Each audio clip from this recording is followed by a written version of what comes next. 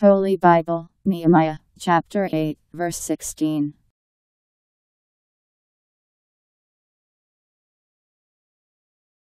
And the people went out and got them and made themselves tents, every one on the roof of his house, and in the open spaces and in the open squares of the house of God, and in the wide place of the water doorway, and the wide place of the doorway of Ephraim.